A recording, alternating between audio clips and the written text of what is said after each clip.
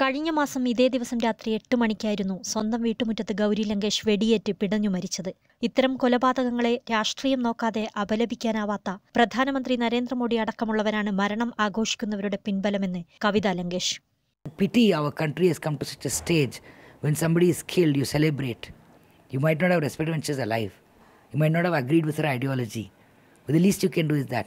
So whether it's Prime Minister or I don't know, whoever it is, it's human nature to have condoled some uh, heinous crime like this. Whoever has condoled, I'm happy, I'm satisfied. Whoever has not, I think it shows their character.